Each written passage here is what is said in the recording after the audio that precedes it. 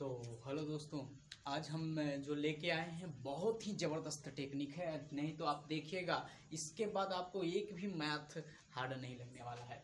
जैसे हम आज लेने कर आए हैं वो चीज़ कि जिसकी मदद से आप किसी भी अन्योन चीज़ का जनरली तौर पर उसको हम लोग पढ़ते हैं एक्स के मान से, परंतु ये कोई ज़रूरी नहीं कि एक्स के मान पे लागू है, ये सब पे लागू है, चाहे जहाँ भी हो, ये सभी पे लागू है। तो चलिए दोस्तों, हम लोग अथी करते हैं, शुरुआत करते हैं कि क्या कहता है। तो सबसे पहले चर का मान निकालना हो या एक्स का मान निकालना हो तो हम अपने कविता वाले पिछले के बेसिक फॉर्म पे आते हैं। इसमें टोटल का टोटल जो रूल्स हम लोग यूज़ करते हैं, वो सारे इसमें दिए गए हैं। तो चलिए दोस्तों, हम आपके सामने बिना टाइम वेस्ट किए करते हैं। एक्स का मान लाना है। एक्स का मान लाना है। वास्तव में एक्स का ही नहीं, चाहे किसी का भी मान लाना हो।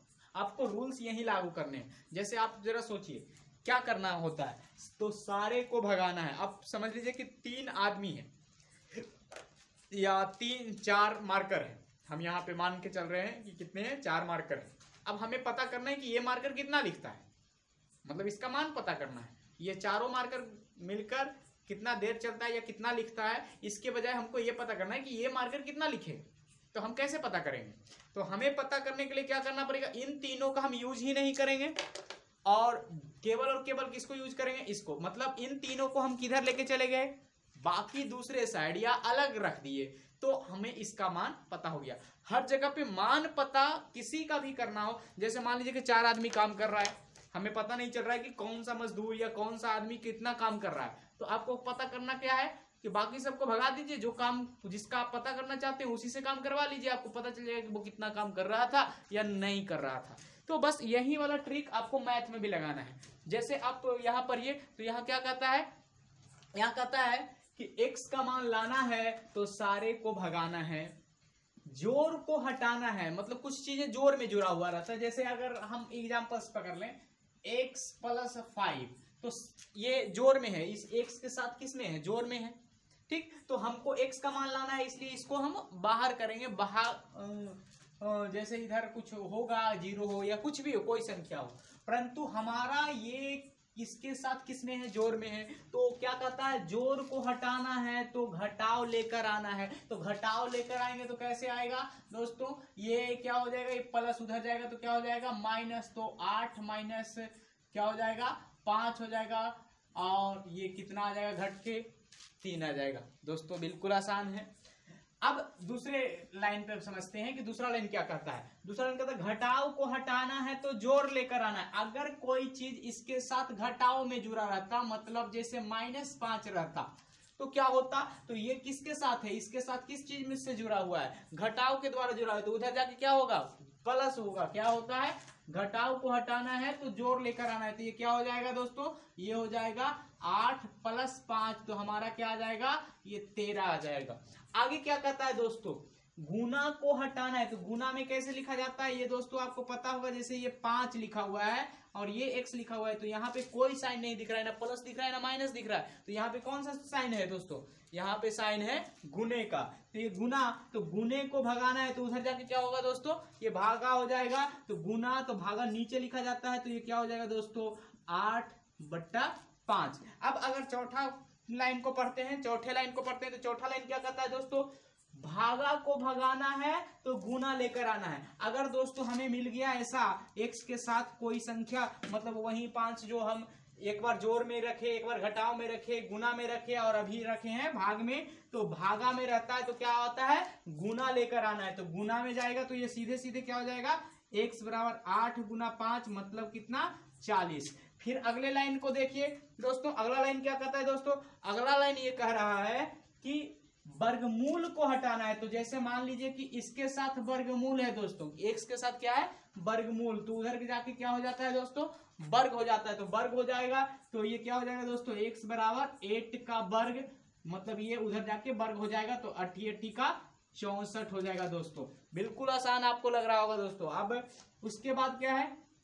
अगला कहता है, वर्ग को हटाना है। मतलब वर्ग अगर रहता इस टाइप से रहता, और इस तरह रहता, मान लेते हैं कि एट ही रहता, एट ही अभी लेके चल रहे हैं दूसरे साइड तो क्या हो जाता दोस्तों? ये हो जाता रूट एट अब रूट से निकालने के लिए हम अगले पार्ट में लेके आएँगे। परंतु यहाँ पे क्या ऐसे ही केवल क्वेश्चन आएँगे? बिल्कुल नहीं जी, ऐसे ही केवल क्वेश्चंस नहीं आएँगे, इससे और भी हार्ड आ सकते हैं। परंतु आप डरिएगा नहीं, आपके पास क्या है? पोएम है। किस चीज़ का? एक्स के मान का। एक्स के मान का नहीं, सभी चीज़ के मान का। आप आसानी से बना सकते हैं।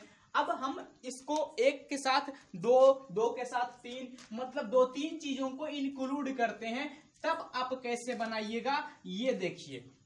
कभी कभी आता है कि x बट्टा टू प्लस फाइव अब यहाँ पे अगर देखिए भागा में भी है और ज़ोर में भी है। अब पहले किसको भगाएँ? तो पहले याद रखिए, जो जितना दूर है, उसको उतना पहले भगाइए।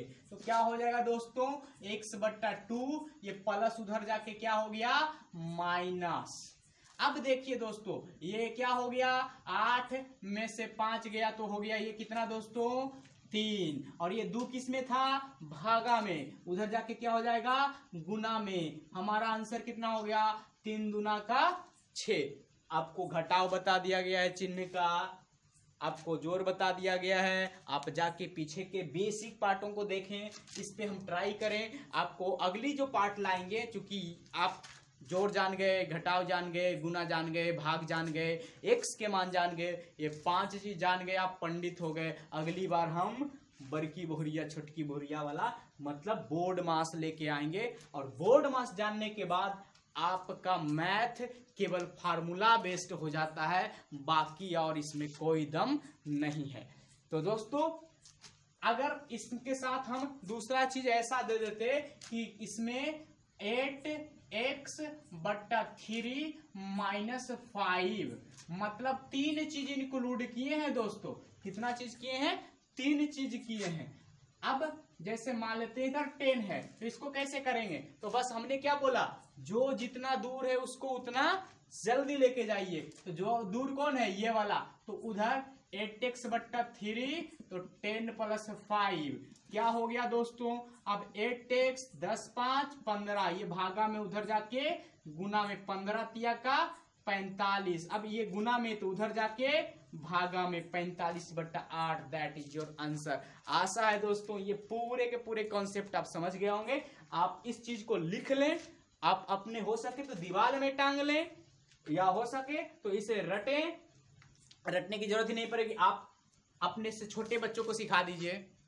आप किसी को सिखा दीजिए ये और इस प्रकार से कविता में पढ़ के सुना दीजिए। आपको बिल्कुल रटने की ज़रूरत नहीं पड़ेगी और इतना ही नहीं, बल्कि आप कभी भी ये नहीं कहिएगा कि हमें मैथ में हार्ड है, मैथ हार्ड है। बिल्कुल इस बेसिक पैटर्न का क्या करना है? फॉलो करना है।